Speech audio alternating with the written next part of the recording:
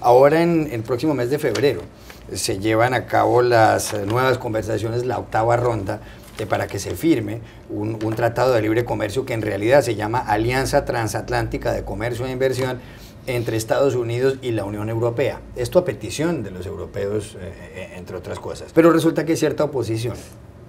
Y de eso da cuenta el diario de Washington Post hoy en portada, especialmente de algunos sectores en Francia y tiene que ver con la comida. Resulta que los franceses se quejan quizá con razón, de que en Estados Unidos eh, la comida tiene una gran cantidad de componentes químicos eh, que no solamente la pueden hacer dañina, sino que le quitan el sabor. Eh, un, un, escritor sobre asuntos de gastronomía en Francia, Camille Labro, ha dicho esta semana que si se firma ese acuerdo de libre comercio y a Francia la invaden los productos alimenticios estadounidenses, se habrá decretado la muerte del sentido del gusto por comer.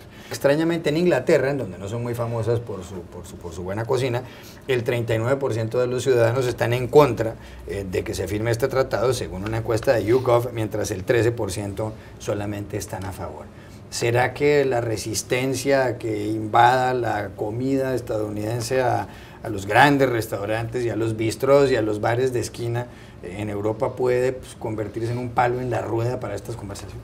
Yo creo, Juan Carlos, que el hecho de que, como bien decís, Gran Bretaña se sume a este rechazo desacredita totalmente el argumento de la comida. Ya perdió toda seriedad. Pero bueno, este, más allá de eso, eh, es verdad, los franceses son esas personas que uno siente que van por el mundo sintiendo una enorme pena por todos aquellos que no son franceses. Y, en serio, uno, uno lo, ve así. Pero de verdad, eh, todo argumento es válido para defender yo creo que lo que hay atrás es un enorme miedo a, Estados Unidos y a este mercado gigantesco que se va a crear y que en realidad el mundo va caminando lentamente a una globalización y a un mundo cibernético eh, cada vez más grande. Cuando las, los cineastas pintan ese mundo imaginario al que vamos caminando y que todavía no vemos, eh, una de las cosas que hacen es pintarnos a todos como robotitos iguales. Con lo cual es muy probable que los franceses tengan razón y el gusto se esté uniformando. Y estas cosas tienden a uniformar culturas, placeres, pensamientos, gastronomía, tienden a uniformar. Más allá de eso, eh, y aparte de los argumentos, hay otro argumento de fondo con el tema de la comida y es que eh, se habla del, sentido del gusto y tiene razón. Yo creo que en Estados Unidos hasta la lechuga es sospechosa, uno no sabe muy bien qué come, pero, pero come. Y si nosotros nos quedamos en la cultura gastronómica francesa, no come todo el mundo. Este es un problema. La producción de alimentos necesita de estas industrias alimenticias extrañas que uno está conociendo o innovadoras. Cuando uno habla con un criador de pollos hoy en día, de los que producen muchísimos pollos, no te dicen como un francés estoy criando un pollo, te dice estoy generando proteína de origen animal. Claro, eh, es otra historia, criar un pollo y generar proteína de industria animal. Lo que pasa es que con eso come más gente que con la otra. ¿Será que los gourmets franceses van a hundir en las conversaciones? Bueno, eh, gourmets franceses o, lobby agrícola, eh, mm. porque el lobby agrícola francés es muy importante. De hecho, el lobby agrícola francés ha dominado, ha controlado, ha condicionado a la Unión Europea prácticamente desde su fundación. Hasta hace poco, más de la mitad de los fondos del presupuesto de la Unión Europea, de la, de la Comunidad Europea antes, iban a, la agricultura francesa. Y ahí hay un proteccionismo muy fuerte. Los gourmets, yo creo que, que, que confunden la comida con la cocina. Es decir, la cocina americana es discutible, pero no es la mejor cocina del mundo, no, no es una gran cocina. Pero aquí hay buena comida. Estados Unidos es, hay, buen, hay buenos, eh, eh, buen, material, digamos, buenos productos. Este país es un continente, hay mucha comida industrial, pero también hay, es decir, hay carne americana que yo no he comido carne en, en Francia jamás tan buena como la que he comido eh, en, este país. En el trasfondo hay un antiamericanismo muy fuerte. En, en, estas negociaciones se proyecta el antiamericanismo, el miedo al declive francés, al declive europeo. Lo extraño es que eh, las negociaciones para el pacto comercial hayan despertado tanta oposición en Europa cuando Europa está en una situación económica crítica y quizá necesita más Europa este acuerdo mm, que Estados Unidos.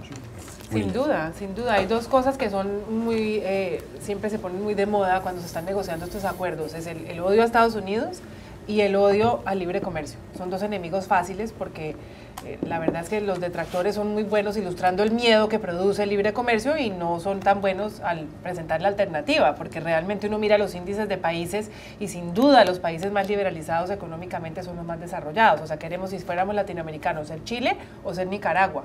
Queremos ser, qué sé yo, el Reino Unido o ser eh, algún país de Europa del Este que tiene una economía bastante bastante frenada. Entonces, eh, no hay ninguna duda que los acuerdos de libre comercio y que el libre comercio, bien entendido, lo que genera es reducción de la desigualdad, reducción de la pobreza y desarrollo económico. Lo que pasa es que ya es responsabilidad de los gobiernos ven qué hacen para mitigar los efectos eh, inmediatos y a corto plazo de ese libre comercio. Jaime Pues eh, en corto yo diría que esto, otro ángulo que se puede argumentar es que este es básicamente un debate de clase porque yo dudo muchísimo, muchísimo que la clase media francesa, bajo las actuales condiciones, yo no imagino a, estas familias de los barrios suburbanos de migrantes desfilando al mismo tiempo que este defensor de la buena cocina francesa, eh, porque saben muy bien que necesitan ellos productos baratos para alimentar a su prole en, momentos en que el país está realmente viviendo una situación muy complicada. Y si uno no hubiera visto en los últimos años la proliferación de tiendas que ya se especializan en comerciar productos incluso que están caducados, eh, en España, en Francia, en Bélgica, uno diría, no, pues estos están defendiendo el, el, buen gusto o, o, se están defendiendo con las uñas de una crisis que avanza. Por eso creo que este también plantea un debate falso, un debate de clase, en el que pues evidentemente quienes apuestan por la comida orgánica y el buen gusto, pues tendrán su parte de razón. Pero dicho esto, yo creo también que la comida y el buen gusto no se va a terminar, porque quienes consumen eh, la comida eh, eh, de gourmet son las clases más pudientes. Y esas con productos o no, con hormonas de Estados Unidos importados, van a seguir consumiendo los productos eh, de alta calidad en Francia. Y los otros van al McDonald's de los Champs-Élysées.